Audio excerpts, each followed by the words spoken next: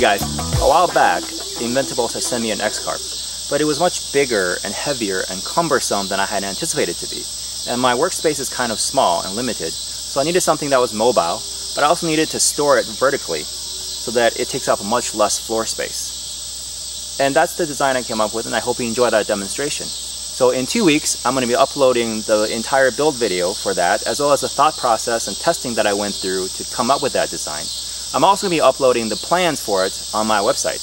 It is made out of 2x4s and screws, so it's very easy to build. So I hope you'll come back and join me for that.